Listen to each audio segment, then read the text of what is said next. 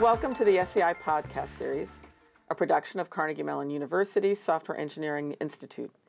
The Software Engineering Institute is a federally funded research and development center operated by Carnegie Mellon University and sponsored by the U.S. Department of Defense. This podcast and the series are available on www.sei.cmu.edu forward slash podcasts. My name is Suzanne Miller, and I'm very pleased to welcome today Andrew Mellinger, one of my colleagues and friends. And today we're here to talk about moving target defense. And I'll let him talk a little bit about what's your background, what brought you to this work, and then we'll get into what is this all about. Sure. So uh, in general, um, I'm kind of a software engineer, do the full spectrum. Uh, I really focus on software architecture, but also on uh, adaptive and dynamic systems.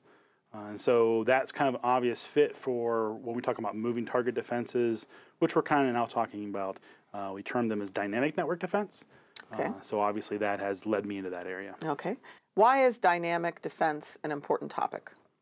So if you think about when most people think about defense, whether it be a network or a physical entity, they think about kind of a, a static set of defenses. So uh, you know, we're used to thinking about how I defend an organization. Imagine a, a, brick wall, a strong door, a gate, or something like that. And all those defenses, what they evoke is this kind of big monolithic static uh, set of uh, set of walls. Okay. Sure. Um, and within uh, enterprise networks, what we find is that that gives a lot of opportunity to our attackers to understand what we do. And so they can see the wall. Absolutely, absolutely. It gives them time because we don't change it over time. Mm. And while that's a natural thing to want to do when building your defense and maintaining, and not just your fence, but your entire enterprise, uh, what we try to do is say if we move those things around, how can we make it harder for the attacker to understand our environment? That's the fundamental okay. premise. It's as simple as that. All right. So, how do you go about making a defense dynamic instead of static? Yeah, so in most cases, you actually can't take an existing defense and make it dynamic. What you end up having to do is redesign or re envision your systems to have dynamic attributes. Okay. So imagine your computer, which has an IP address. Uh, what if that IP address was changing over time? So you weren't at the same address; you were somewhere else. So when they did it, when the adversary did their initial uh, reconnaissance, they would find you at a particular address, and then when they went when they went to come back and compromise your machine, it could be somewhere else that sounds like a productive way of, of, foiling that kind of attack. Are there other specific kinds of attack that dynamic defense is particularly geared to defending against? Uh, actually, they can cover all the spectrum. So anywhere from a host, any attribute of a host, whether it be memory layout, okay. uh, instruction layout, all the way up through networking stacks and protocols and network routes, all the way up into how we actually work with our computers. So uh, most organizations have a policy where you have to reset your password. We know that one well here. Uh, what if you had to do that on a weekly basis instead of a monthly basis? now, that changed that. As a user, I, I, give you a heavy sigh because it's problematic from right. the user interface viewpoint of remembering all those things. So, but you have a solution for that, I'll bet. Well, actually, we don't yet. Oh, darn. That's a lot of the hard problems.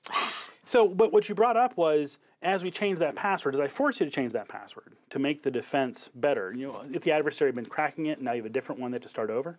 Um, how do I make it so that I can have a dynamic defense, but it doesn't cost the defender a lot of money? Right. So patterns that you have ways of manipulating in unpredictable ways is one of the strategies you might think about for something like that. Right. And also, how do I make that information though? So how do you remember your password if it changes all the time? Yeah. How do you? I'm not telling on video. Right. We don't have a good solution for that yet. Well, imagine imagine if you're a systems administrator and you have lots of password changing or network sure. layouts. And so we have to build a set of tools too that enable us to understand that dynamic environment. So is that you've got a platform that you're working on yes. to actually help to validate and vet new technologies that are in this arena trying to help with these kinds of problems? Yes. So tell us about that. Yeah. So the platform, um, uh, we call it middleware because that's basically what it is. Uh, it deals with sending around messages and information between all the various machines that are involved in your enterprise. And its job is to kind of mediate between that dynamic change and the static environment. So it will help a machine move and be able to send back information and say, I'm still the same machine. Now, obviously, you're going to say as well, if you're doing that, couldn't the adversary tap into that? Well, I was going to say that. Right. You're probably imagining that. That's a common question we get. Mm -hmm. And so the answer is that's the obvious point of attack then. So attackers are going to come after us because we control that environment instead of going after a lot of other things.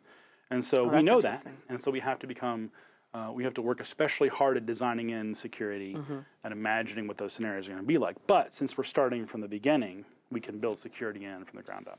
Okay. So build security in is one of our big um, themes in all of our security work at the SEI. And, and you mentioned the difficulty of moving from a static to a dynamic environment.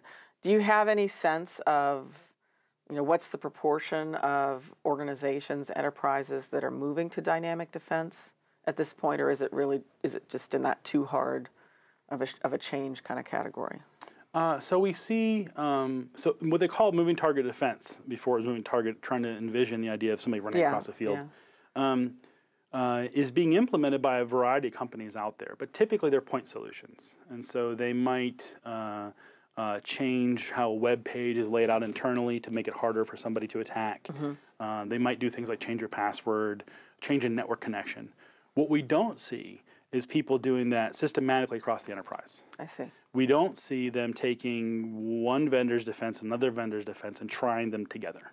Okay, which adds more complexity, which more complexity in the defense means takes more complexity to attack. Right. So some, at least some proportion of attackers are going to give up and say, "Forget it, you're too hard. I'll go to an easy one." We, we hope so.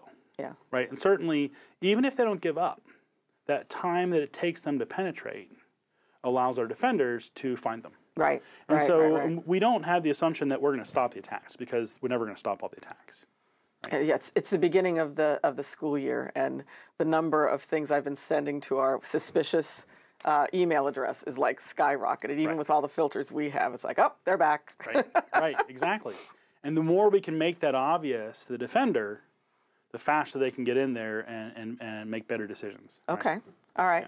So, what uh, kinds of things have you found in using this platform? What What are some of your research results in terms of things that work, things that don't work, or may you may not want to say what things don't work?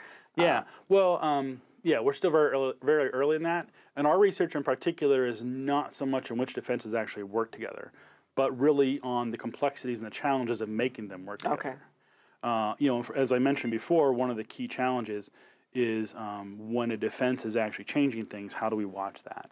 And most people How who do are you designing gain the insight in terms of what the attacker's doing? actually no. How do we how do we use that change so it doesn't confuse the defender? Ah, okay. Right. Okay. So if you're a system administrator and your machines are moving around, you've lost control. Sure. So how can you how can you make them move around from the perspective of the attacker, but Okay. not from the perspective of the defender? Okay. And most attacker, or I should say, most um, uh, vendors don't think about that. They they say we've got this black box solution. You stick it in line, and all's good to go.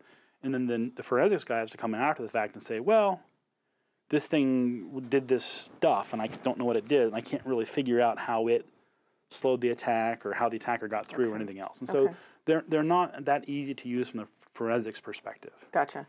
So this is a team sport. Obviously, there's lots of people that have ideas about many of these aspects, at wh- which attributes are more amenable to becoming dynamic, et cetera. Tell us a little bit about the collaborators and the collaborations that you've used to make this happen. Yeah. So uh, uh, folks on campus in the Institute for Software Research, they've been looking at um, self-adaptive systems now for probably nigh on 15 years. Uh, and that uh, they, is part of uh, effort called Autonomic Systems, which came out of IBM back in the early 2000s.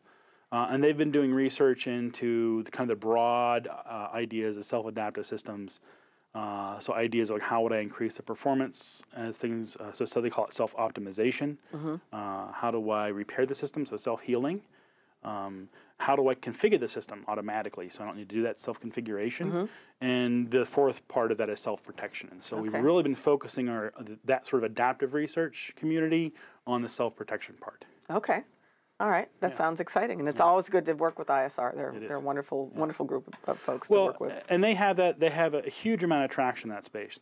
And so being able to say, okay, take those ideas you did for, for performance, right? Mm-hmm. How do you talk about you know latency and bandwidth and adaptability and lead times and all these sort of things from a performance perspective? Right? Now adjust those for protection. Okay. Okay. That makes sense. Yeah, so it's not just we're cooking up something, you know, It's not pure invention, it's adaptation. in self adaptation. nice. So, yeah. Um, I did that on purpose, of course. All right. So where are you now, and where are you headed in the next year or so with this work? So our, we're we're at the point now that we have our middleware platform working, and we, we use this thing called uh, the MAPE K loop. That's the autonomic systems loop. It's kind of Okay. a um, uh, monitor, analyze, plan, execute. We have this loop. We've implemented a loop, and we're, we're actually now building out the adapters that run some candidate systems. And Okay. so we brought these systems in, well, we're bringing them in and wiring them up, and we're starting to pit them against each other and see if we turn on both, what happens? Will they work Okay. together or will they not? And if they won't work together, how do you build this uh, uh, self-adaptive systems, systems loop to recognize that and be able to say, okay, well, under these conditions, I should be using that one. Okay. And okay. then 20 minutes later, under these conditions, I should be using that one. How can it right. change those over and time? using them together is not productive in this case. So. in some of these, and some of them they are. sure. Okay. And so, how do you have these advanced enterprises be able to bring up more than just a handful? You know, complex uh, interactions across the entire. You know, I think thousands, tens of Yeah, thousands of yeah. machines. Well, when you get that problem about the changing the password every week so that the user can still remember it, when you get that one figured out, I want to I want to play because I really need that one. Um, Andrew, I want to thank you for sharing your work with us. Self protection, we all need that. Um, it is kind of there is this tension between user usability and protection, and this dynamic kind of idea adds a little more complexity and but it but it does give you more protection. I can see exactly where that's going. So we've got to find some of those Yep. solutions, and I know you guys are working on that. So thank you. So um, I do want to say that uh, you were highlighted. Uh, your your work was highlighted in the SEI's Year in Review for 2015. That's our annual publication that talks about work across the institute. So that's one of the places that people can find your work. And a PDF of that publication is available at sei.cmu.edu forward slash Year in Review. That's Year in Review altogether. The SEI Year in Review highlights work from our past fiscal year and showcases the support that we provide the DoD and other organizations in acquiring, developing, and deploying trustworthy software-enabled capabilities. As always, we include links to these resources in our podcast transcripts. This podcast is available on the SEI website at sei.cmu.edu forward slash podcast. It's also available on the Carnegie Mellon University's iTunes U site. Thank you very much for viewing today.